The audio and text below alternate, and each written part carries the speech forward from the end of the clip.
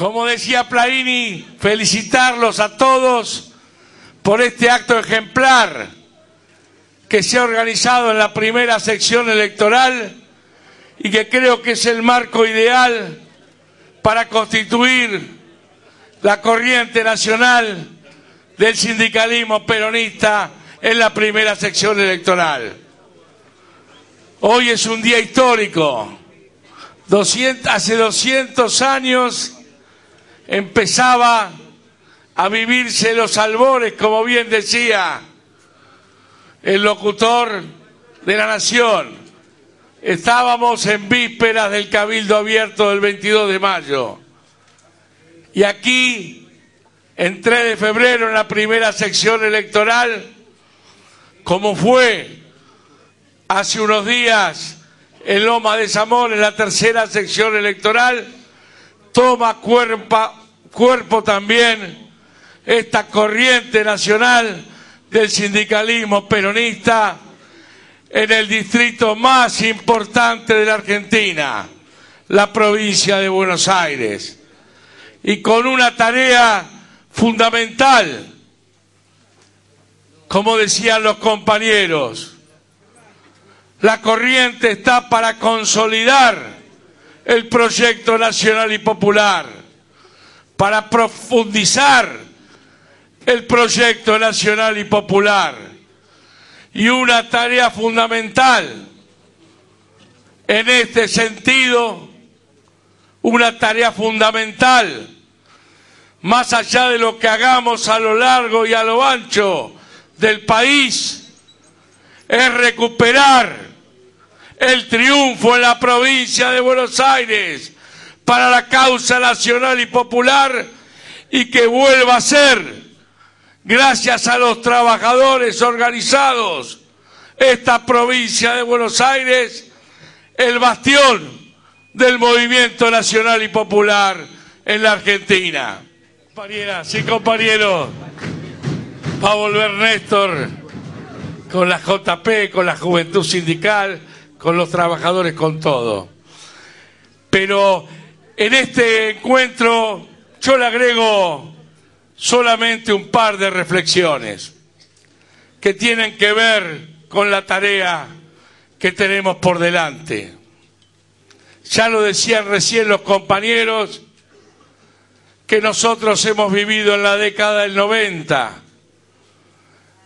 El intento más claro y más efectivo por desnaturalizar al peronismo. Creo que en la historia política argentina no se ha dado una tarea de contrabando ideológico como la que se dio en los 90. Lo que no pudieron hacer con la dictadura militar, lo trataron de hacer usando los símbolos, la cara, el rostro los símbolos del peronismo, la cara, el rostro de Perón y Evita y hasta las fechas históricas del movimiento peronista. No hay que recordar que fue un 17 de octubre que reglamentaron el derecho de huelga cercenando a los trabajadores algo fundamental. Un primero de mayo lanzaban medidas de flexibilización laboral ¿Y esto con qué sentido? Con el sentido de confundirnos, con el sentido que el pueblo argentino pensaba que no iba a entender lo que era el peronismo. Y ahora, como bien decían los compañeros, van a insistir con ese camino, porque si no confunden al peronismo, si no fracturan una parte de nuestro pueblo, es imposible que alienten la más remota esperanza de frustrar nuevamente los sueños, los ideales de dignidad y de justicia social de nuestro pueblo. Por eso en esta provincia de Buenos Aires la tarea es fundamental. Como bien decían los compañeros, para ser peronista no hay que decirlo, hay que hacerlo en la práctica diaria y los que tienen funciones de responsabilidad, los que tienen funciones de conducción, tienen que hacerlo, hay que practicar la justicia social, la soberanía política, la independencia económica y la unidad latinoamericana. Y acá sabemos bien lo que hemos luchado y resistido al neoliberalismo en la dictadura y también en la década del genocidio social, en los 90, que recién, después de Perón, el primer gobierno peronista en la Argentina ha sido los gobiernos que practicaron la justicia social, la soberanía política, la independencia económica y la unidad latinoamericana. Y ese gobierno fue el de Néstor Kirchner y el actual, el de la compañera Cristina Fernández de Kirchner. Por eso digo que la tarea que tenemos como corriente nacional, sindical, peronista, es una tarea ardua, es organizarnos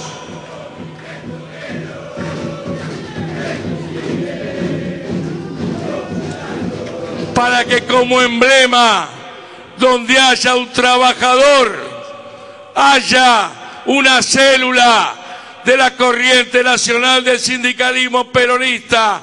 No importa que este trabajador sea metalúrgico, legislativo, de la construcción, camionero, de obra sanitaria, de donde sea lechero, revisero también, o del SEAMSE, no importa de dónde sea, lo que importa es que esas compañeras y compañeros empiecen a tejer, como nos enseñó Perón, la organización que garantice esos objetivos que nos planteamos, el triunfo electoral y la profundización para alcanzar la justicia social plena. Nosotros creemos, como lo dijeron todos los compañeros y como nos ha marcado el compañero Hugo Moyano, que sabemos que nadie sabe más que un trabajador.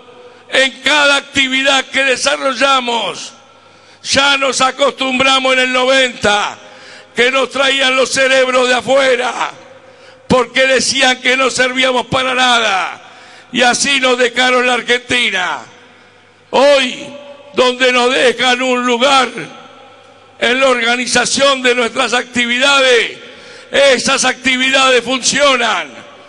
Por eso tenemos que capacitarnos cada día más para ocupar todos los espacios, no solo los selectivos, los espacios que hagan a nivel municipal, a nivel provincial, en los distintos entes que garanticen que el esfuerzo del Estado llegue a aquellas compañeras y compañeros que más lo necesitan. Y a través de eso que generemos con inventiva, con trabajo y con desarrollo las fuentes laborales que hacen falta para volver, como en la época gloriosa de la Argentina, a tener desocupación cero, compañeras y compañeros. Eso es la dignidad, eso es peronismo. Eso es justicia social, compañeras y compañeros. Démonos a la tarea, porque vale la pena. Y en esa tarea, si la empezamos a desarrollar, si empezamos, como decía Argüello, a formar los cuadros, ese sueño de nuestro conductor, el compañero Hugo Moyano, de que en algún momento una mujer o un compañero surgido de la fila del movimiento obrero llegue a la Casa Rosada